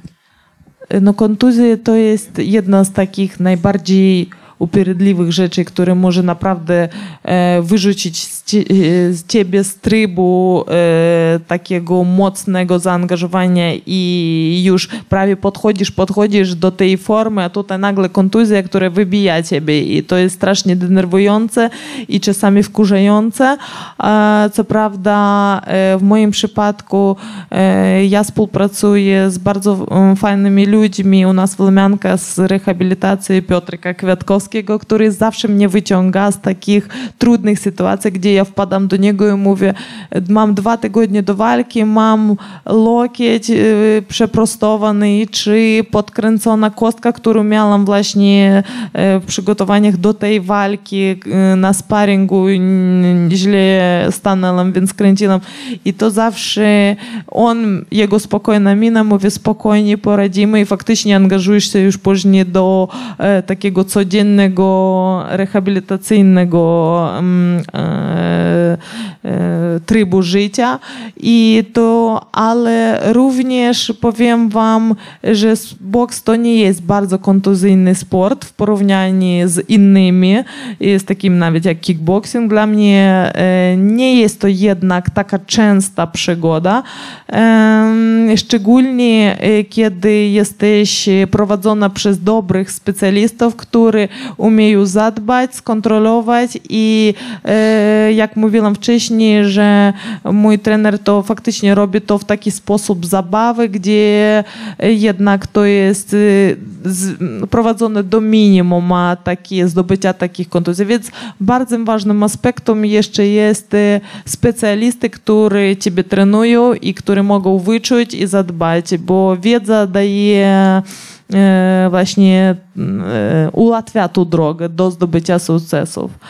E, Ale jeżeli nie znasz i gdzieś ktoś eksperymentuje, to, to jest faktycznie jest e, nieprzyjemną e, rzeczą, która może po prostu e, osoba przygotowuje się 4 lata do mistrzostwa i do Igrzysk Olimpijskich, a później nagle kontuzja wybija od celi, które prześladujesz i głównym jest twojego życia. Ale na dzisiejszy dzień jestem zdrowa, mam dwie ręce sprawne, dwie nogi i się nie boję o kontuzję. Em, To pomaga oczyścić głowę, bo jeżeli z tyłu masz e, i ciebie boli o kontuzję, to ciężko skoncentrować się na głównym zadaniu. Tematem naszej rozmowy jest o tym, jest to, jak dążyć do szczęścia. Więc e, szczęście pewnie można znaleźć w życiu w bardzo nieoczywistych miejscach, ale z tego, co też powiedziałaś, to e, ty obecnie uczysz ludzi boksu, kickboxingu, e, sportów walki w każdym razie. Powiedz mi, jak wyglądała, wyglądały twoje pierwsze lekcje? Bo czy dało ci to jakieś wielkie szczęście, czy traktowałaś to bardziej jako swój obowiązek, jako już y, ustabilizowanej y, sportsmenki? No, dla mnie szczęście widzieć, kiedy twoja praca przynosi efekt i osoba się uśmiecha, bo i to największa przyjemność właśnie prowadzenia treningów. E, mi się mm, zdarzało się spotkać z różnymi kobietami, które przychodzili z różnymi problemami i, i niektórzy podnosząc ręce do gardy zaczynali ciec im łzy, bo mówili mi, że po prostu przyszli na boks, żeby obronić siebie, obronić swoich dzieci przed różnymi sytuacjami, więc faktycznie przychodzą ludzie z różnymi problemami i też zdarzali się takie sytuacje, że spotykali mnie kobiety, zaczynali płakać i mówić, że czuli, że jak ja walczę, to walczyli jakby za wszystkich kobiet i, i dlatego oni czuli taką siłę wsparcia. Dlatego uważam, że faktycznie mm, wielu ludziom, e, wielu ludzi przychodzą z różnych przyczyn, ale najfajniejsze, kiedy ja opowiadam im, że też byłam w trudnych sytuacjach, też zdarzali się mi różne rzeczy, ale przeszłam przez to w taki sposób i pomaga, mm, i boks mi w tym bardzo pomógł. Uważam, że też wyciągnął mi i nadal e, tak naprawdę nie znam słowa depresja, ale jeżeli coś czułam nawet podobnego do tego, to tylko wtedy, kiedy przestawałam e, ćwiczyć i trenować siebie. Więc e, kiedy widziałam, że trenując ich, nawet osób, które przychodzą w złym humorze i chciało im się plakać, zaczynali ruszać i powoli te myśli odchodzili już na drugi, trzeci yy, kolejność, więc widziałam w jaki sposób działa na nich ten boks, a uważam, że fajnie jest wtedy, kiedy zachęcasz ich, yy, pokazując im ćwiczenia, pokazując im skąd bierze się ta pewność, że boks to jest trudny sport, ale gdzie jest ważna pozycja, gdzie pewno będziecie stali na nogach, będziecie mogli dać odpór drugiej osobie, bo z czego się zaczyna ta siła, gdzie się ona bierze.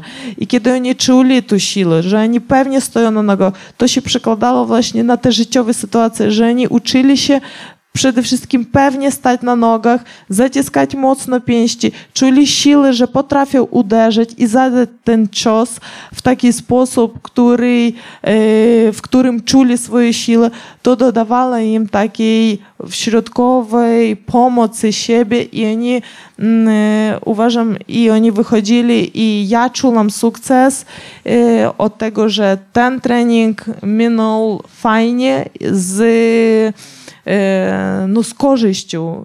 I dla mnie, bo ja widzę, dla mnie najlepsza przyjemność to widzieć, kiedy osoba, moja podopieczna jest zadowolona i dla drugiej osoby, więc już zapomniałam, jakie pytania, ale nieważne, jak zawsze zresztą.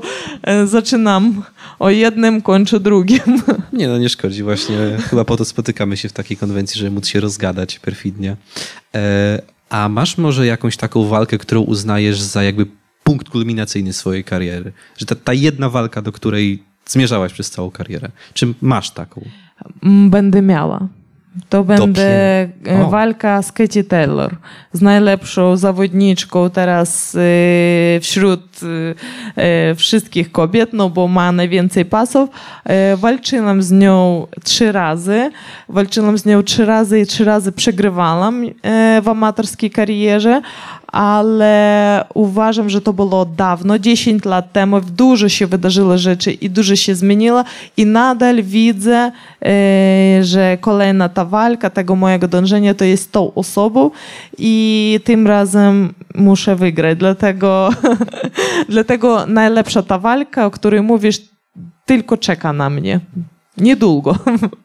No to w takim razie oczywiście życzymy Ci szczęścia. Czyli no stoi przed Tobą wielkie wyzwanie, do którego już się długi czas temu zabierałaś wielokrotnie i nie dałaś mu rady, ale no oczywiście mam nadzieję, że teraz dasz, ale jak Ty się do niego przygotowujesz? Bo to jest bądź co bądź wielka rzecz w Twoim życiu, bez, bez wątpienia. Więc jak przygotowujesz się mentalnie? Treningowo może nie, bo to mniej aplikuje się być może do e, codziennych przypadków codziennych ludzi, ale no jak ty się do tego przygotowujesz? Tak. No właśnie, wiesz, e, e, kiedy przygotowałam się do tej walki i stawałam codziennie o 5.30, żeby o 6.00 stoczyć swój pierwszy trening, a później drugi, a później trzeci, a między przerwach e, zdążyć regenerować, a jeszcze a jeszcze e, przerwach gdzieś oglądać boks, żeby, żeby być projekcję zrobić, albo e, żeby ten boks jednak siedział w głowie i nie wyłączać się. Uważam, że to wszystko jest tym przygotowaniem, o którym mówiliśmy, a tak naprawdę e, wiele rzeczy przyjmuje mój trener, który właśnie tym się martwi. I tak właśnie musi być. On musi się martwić, jak ja muszę się przygotować, a ja ja robię tylko, co on mi mówi. Dlatego ja się nie przejmuję. I nie przygotowuję się, a po prostu wykonuję polecenie. E, co jest fajnie?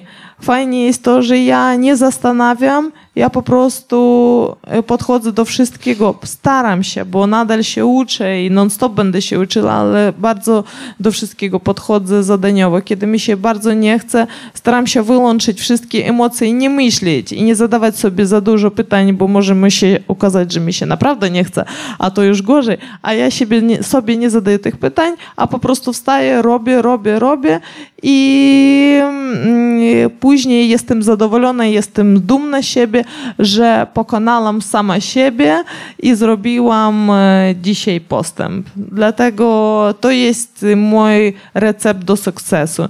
Za, za dużo nie myśleć.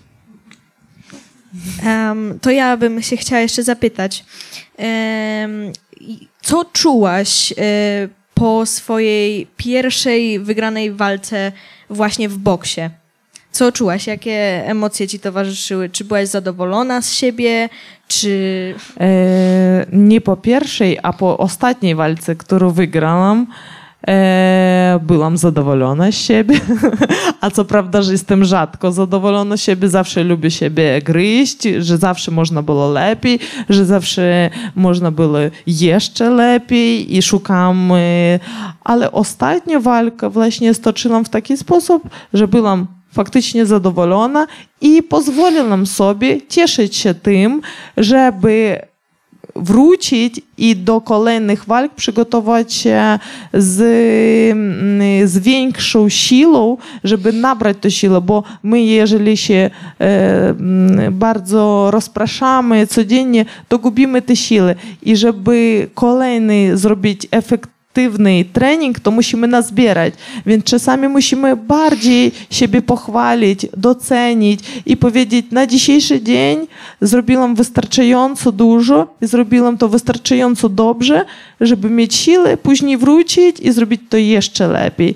Więc nie zapominamy o takich rzeczach, e, jak chwalić siebie, doceniać siebie, lubić siebie i wtedy y, ludzie wokół nas też y, będą to zauważyć, tak myślę, i doceniać to. E, więc nie tylko, przynajmniej w moim przypadku, siebie opieprzać, a jeszcze chwalić. I wtedy to zbalansuje i da pozytywny efekt. Chciałbym zapytać o współpracę z trenerem. Ja nie, I teraz nie chciałbym, żebyś mówiła o sobie, tylko może o tych osobach innych, których znasz, czy tak bardziej, no może na bardziej ogólnym poziomie. Czy występują takie sytuacje, że mimo, że mam trenera, to myślę sobie tak, ja już jestem mistrzem takim, takim, ja wiem lepiej, co on mi mówi. Czy to jest zawsze tak, że sportowcy y, mm, po to biorą trenera, żeby jemu ślepo ufać i tak jak ty zrozumiałem, robię to, co on, to jest jego odpowiedzialność, moja sprawa jest wykonywać jego polecenia. Czy są też inne takie sytuacje, że y, zawodnicy mówią sobie, a co on nie będzie gadał, ja wiem lepiej, ja jestem mistrzem.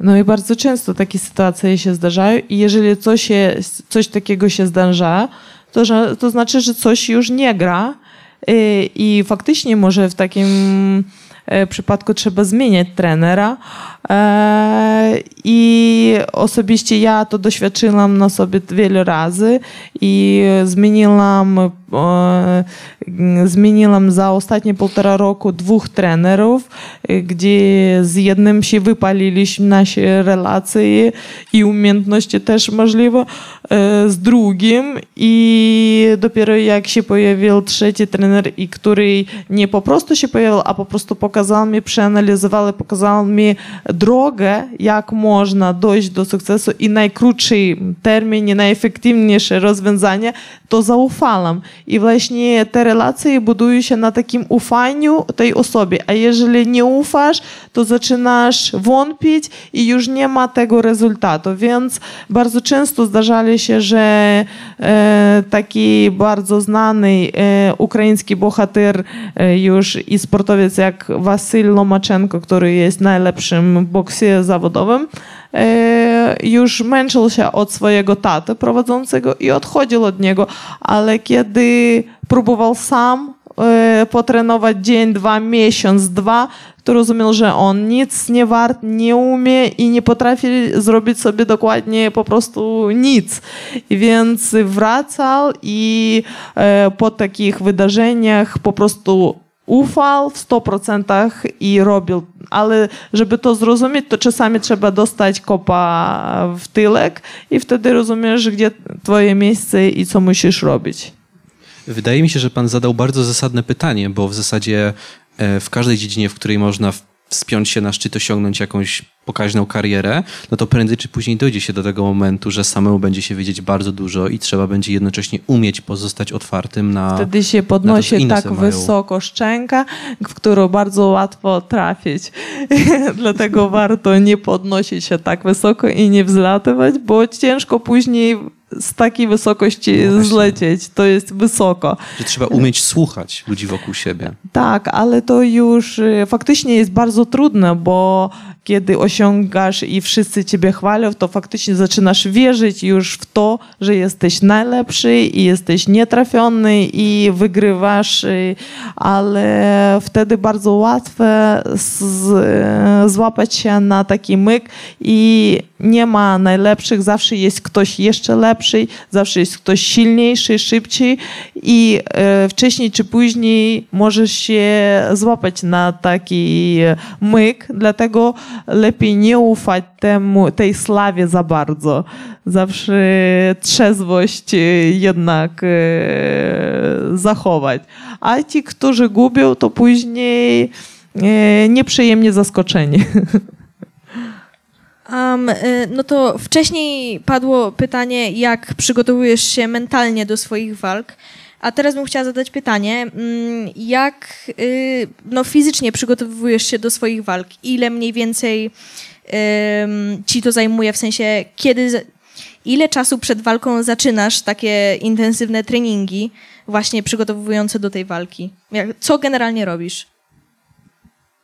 E, No osobiście teraz jak e, wróciłam już do treningów po walce, e, to akrobatykę robię. Nic nie robię boksersko, tylko akrobatykę, która sprawia tak, że ledwie dzisiaj dojechałam tutaj, ponieważ mam takie mocne zakwasy na nogach, że faktycznie to jest coś nowego, coś zupełnie odkrywczego dla mnie, bo nie pamiętam, żeby miała takie zakwasy w ciele i tak mi bolało całe ciało, e, ale mój trener widocznie postanowił, że brakuje mi tychże rzeczy, więc zdobywam nowego doświadczenia, e, a co generalnie ogólnie to zaczynam mocne takie przygotowania za 3 3,5 miesiąca do walki i wtedy już wchodzę w taki reżim dwóch, trzech treningów dziennie, więc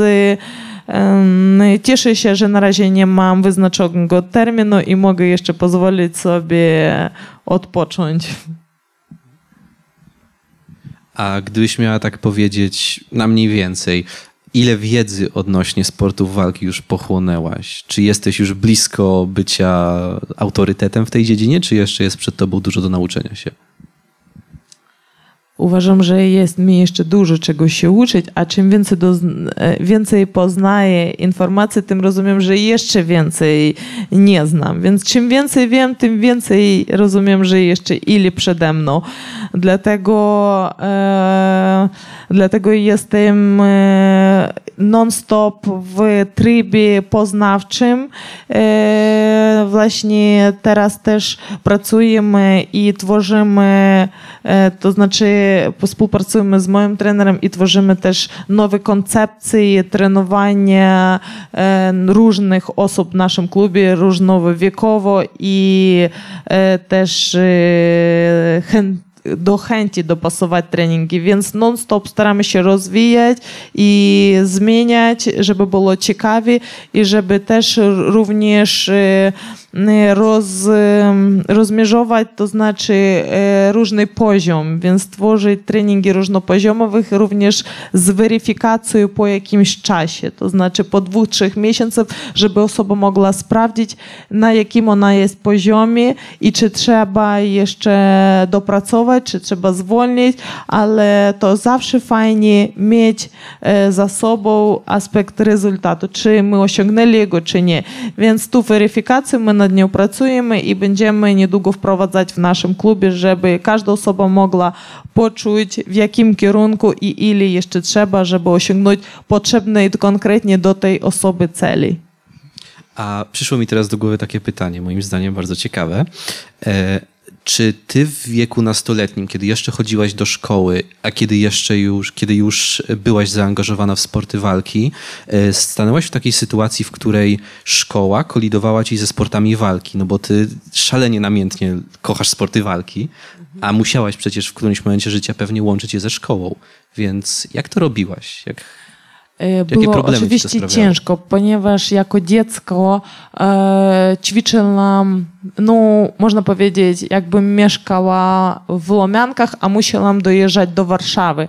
Więc to był kawałek drogi, e, gdzie spędzi, spędzałam e, z godziny czasu dojeżdżania, dwie godziny ćwiczeń i godziny z powrotem. Więc kiedy wracałam było już bardzo późno i nie miałam czasu na, e, na robienie domowych zadań, ale i tak to robiłam do bardzo późnej godziny, albo jak już padałam ze zmęczenia, to wstawałam o wiele wcześniej, żeby nadrobić to.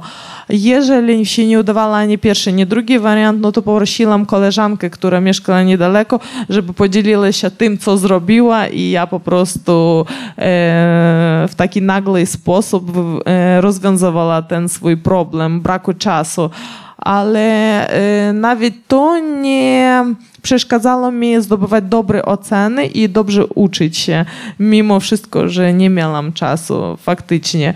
Ale strasznie nie lubię przegrywać i to od dzieciaka i dlatego nie chciało mi się nawet w, w takiej szkole być na jakimś niskim poziomie, więc starałam się trzymać może nie najlepszych, ale naprawdę na dobrych ocenach.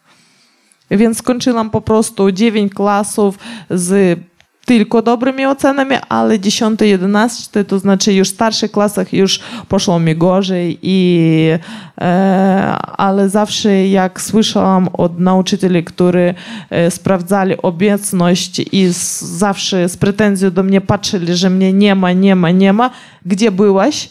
Ja mówię, na zawodach, mistrzostwach Ukrainy. Zdobyłaś? Ja mówię, złoty medal. Dobrze. I wtedy już było o wiele spokojniej i e, pozytywnie patrzono na mnie, więc e, to pomaga. E, Ja mam pytanie, czy e, generalnie tak, czy, jeśli chodzi o motywację do działania, czy też do powrotu do ring, na ring, czy bardziej cię motywuje porażka, czy zwycięstwo? Pewnie porażka. E, Właśnie porażki mnie motywują najbardziej po to, żeby się rozwijać i być lepszą. E, Ale mm, niezbyt często e, dostaję porażki, dlatego fajnie oczywiście to tylko na raz na jakiś czas przegrać, ale wygrana oczywiście też bardzo dobrze pomaga. Ale tak, tak, porażka. Porażka to jest najbardziej motywującą dla mnie rzeczą. Ja, kiedy pierwszy raz przegrałam w boksie, od tego momentu nie przestaję boksować. To znaczy już 22 lata jestem w boksie. I to tylko przez tą pierwszą przegraną. E, Ja się chciałam spytać, jak e, sobie radzisz ze zjawiskiem przetrenowania? To jest, e, czy doświadczasz tego? I jeśli czasem to się zdarzyło, to e, jakie są twoje metody, żeby temu zapobiegać? Nie, e, radzę sobie e, w sposób e, taki, jak e, współpracuję z firmami rehabilitacyjnymi u nas na Wiślanej z Piotrkiem i chodzę tam ze dwa razy w tygodniu na masaże, gdzie tam specjalizują się już taki eksperci, którzy pomagają mi wyjść z tego stanu. Również, również chodzę do sauny, na, do basenu, odpoczywam. Największym dla mnie e, sposobem na regenerację to jest sen. I faktycznie potrafię bardzo dużo spać, jeżeli oczywiście dziecko mi pozwala, ale w ciągu dnia, e, jeżeli mam trzy treningi e, dziennie, to obowiązkowo muszę się przespać chociażby 45 minut, bo jeżeli tego nie zrobię, to nie jestem w stanie normalnie stoczyć wieczornego treningu. E, dlatego główna regeneracja dla mnie jest sen.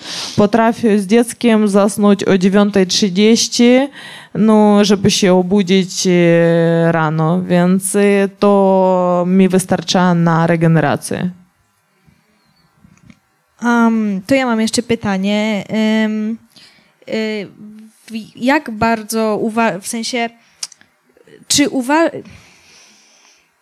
jak ważne jest dla ciebie w, wsparcie bliskich osób y, w osiąganiu właśnie sukcesów w karierze, czy generalnie w życiu? Czy może, czy byłabyś w ogóle w stanie osiągnąć tyle, ile osiągnęłaś, gdybyś nie miała aż tak bardzo wspierającej rodziny albo innych bliskich? Nie byłabym w stanie.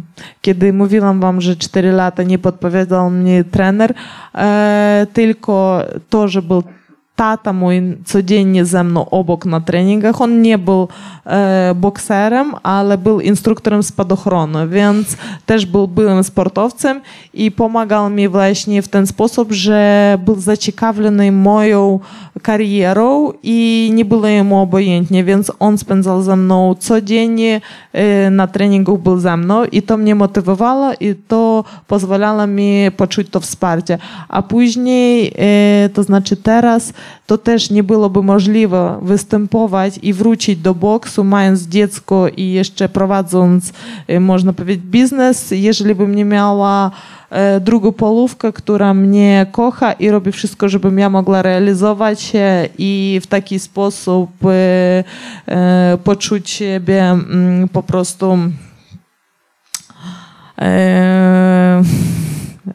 po, poczuć, że y, ja osiągam, rozwijam się i właśnie to robię na co dzień. Po prostu na co dzień mnie wspiera i dlatego uważam, że to jest najcenniejsze e, w życiu. E, Właściwie ludzie, które nas otaczają. Ludzie, które nas e, nie hamują, a pchają do przodu.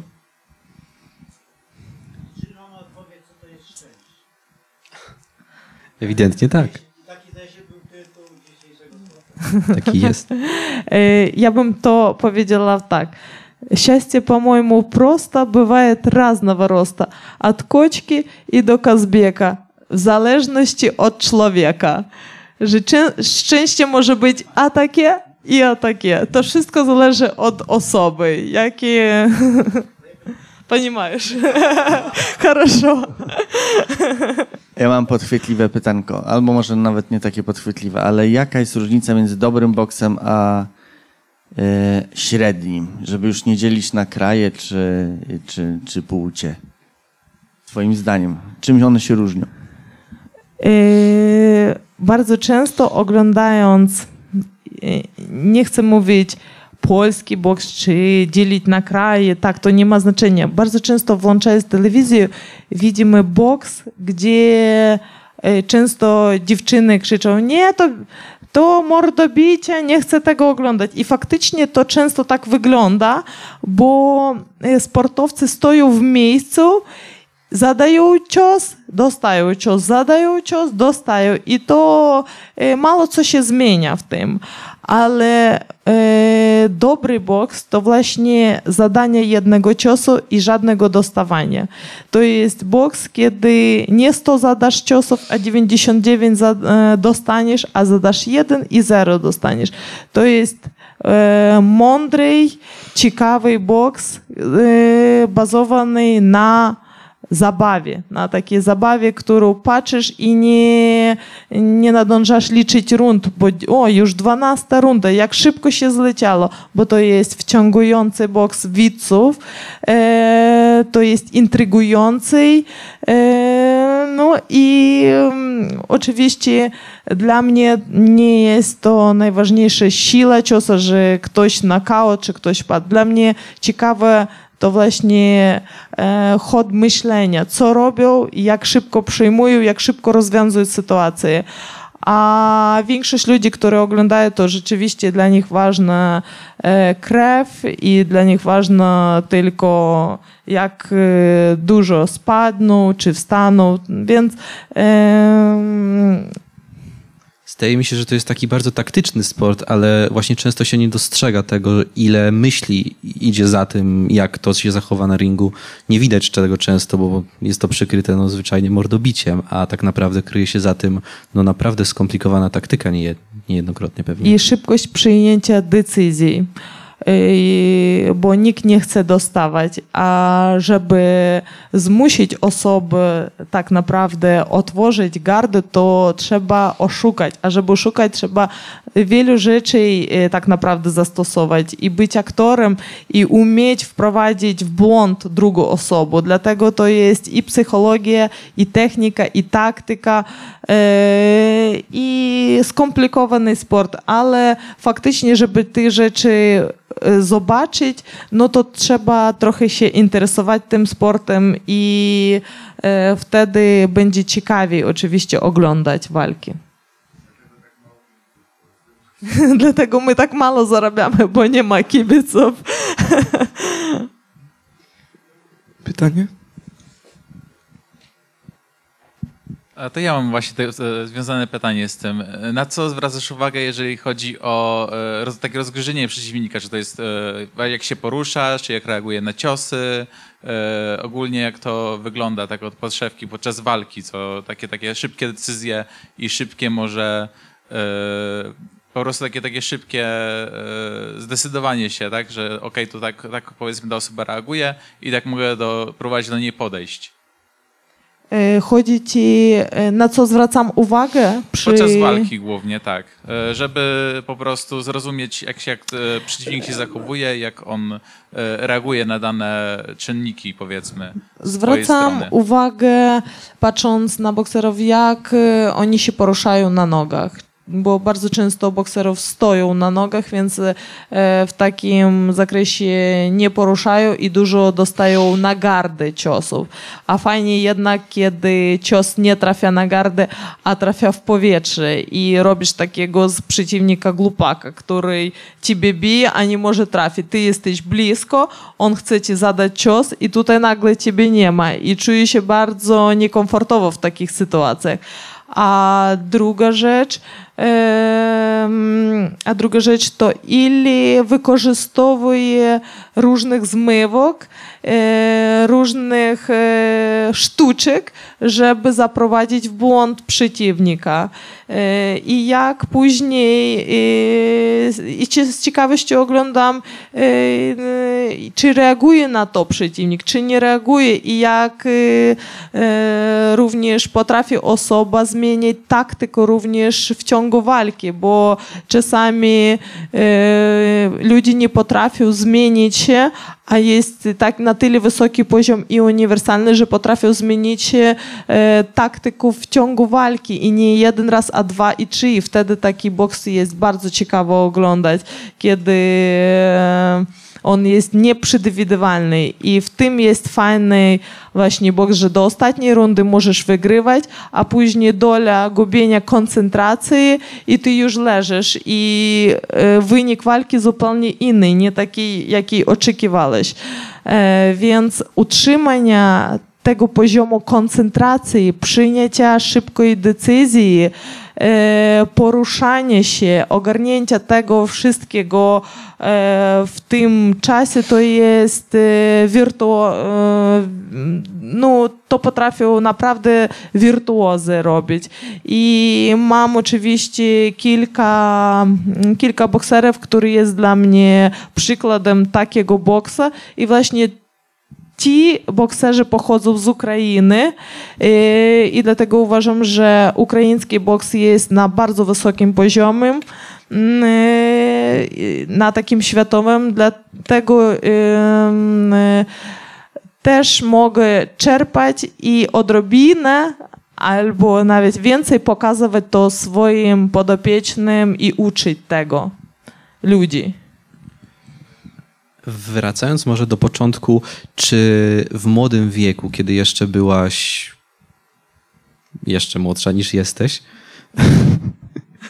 e, czy spotkały cię Dyplomata. Moja specjalność. Czy w młodym wieku spotkały cię jakieś e, przykre konsekwencje, być może z uwagi na twoje zamiłowanie do sportu walki? To może być troszkę osobiste pytanie, ale może masz jakieś takie wspomnienia, którymi chciałabyś się podzielić? E, zawsze uważałam, e, że mam bokserski nos, któremu nic się nie stanie, e, ale byłam przykro doświadczona, kiedy moja oponentka na sparingach, jeszcze jak dziś pamiętam, to było na Barbadosie, na Mistrzostwach Świata. Sparowałam z dziewczyną z Korei i w ostatniej rundzie ta dziewczyna nie założyła kask, więc w ostatniej rundzie po prostu trafiła mnie nie ciosem, a głową i potrafiła mi złamać mój nos, więc to było przy, przy, przykrą konsekwencją na ten czas, że jednak mój nos nie jest taki niezłamny, jak myślałam, że jest taki stworzony dla boksu, bo jest niewystający, niedługi, więc jakoś to mije. Nie minęło mnie, więc faktycznie czasem jest konsekwencje, dlatego bardzo teraz dbam i yy, przez 8 lat prowadzenia klubu nie zdarzało się żadnej takiej sytuacji, żeby komuś było złamany nos. I uważam, że takie rzeczy jak dbanie, pilnowanie zasad, gdzie zakładamy kaski, zakładamy szczęki, zakładamy rękawice, pilnujemy, żeby rękawice były duże, żeby jak najmniej takich sytuacji się wydarzało, więc generalnie dbamy i prawie tako, takich konsekwencji nie mamy, szczególnie na poziomie amatorskiego boksu, nie mówiąc o zawodowym. Um, to ja mam jeszcze pytanie do początków i do, do, do teraz, do Twoich walk. E, czy jak właśnie zaczynałaś karierę z boksem, to wchodząc do klatki na ring, czy towarzyszył Ci stres? Czy, czy podchodziłaś do tego tak bardzo pewnie? E, I jak jest teraz? Czy właśnie stresujesz się tymi walkami, czy pewnie do nich podchodzisz?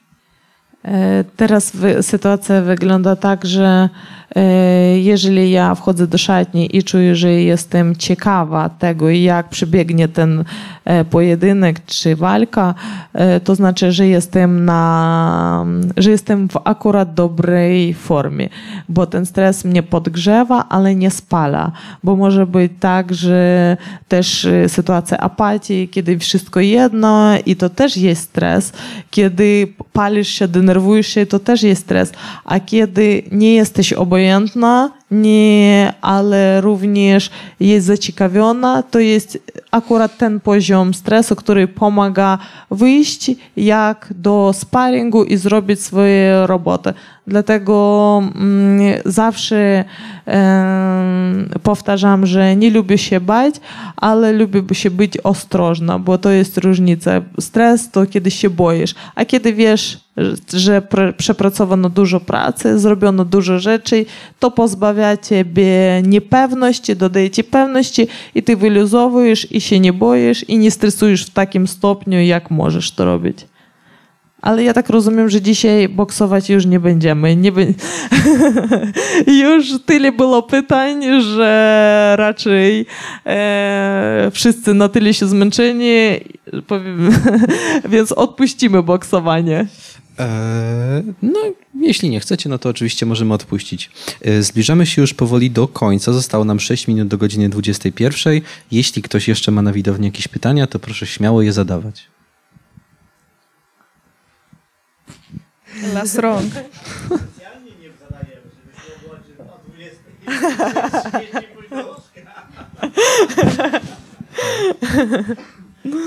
To kiedy widzimy się w takim razie e, na treningu? Zadam pytania może ja, jeżeli wy nie zadajecie.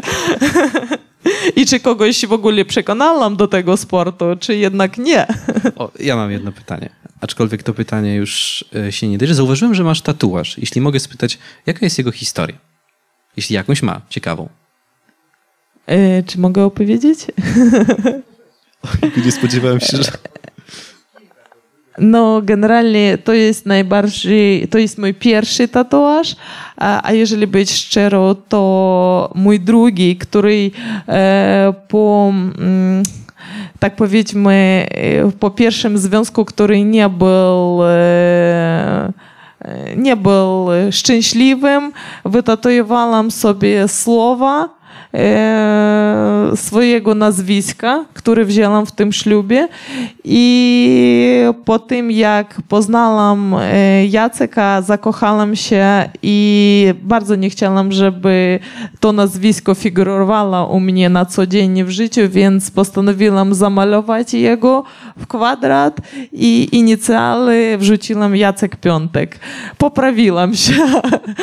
Niegrzeczna dziewczyna poprawiła sytuację i teraz to był, tak powiedzmy, prezent dla mojego męża, żeby byli jego inicjały i, i cieszę się i czuję z tym dobrze teraz. No to się dowiedziałem. Kolejny kojaki. E, No w takim razie, z tego co widzę, to pytań chyba już żadnych nie ma.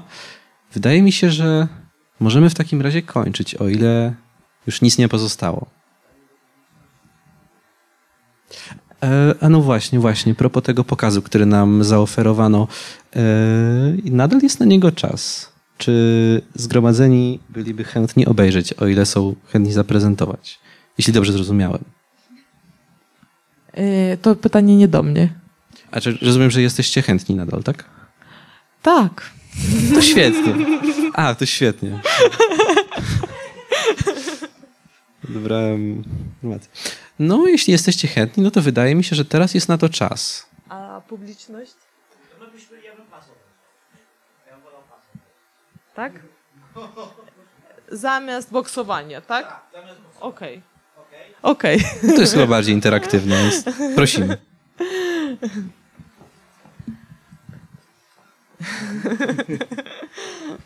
To jest przechodni, czy to jest zostaje na stałe? Zostaje. W moim przypadku tak. Został. Dlatego mogę pochwalić się. Nie zabrali. Dziękuję.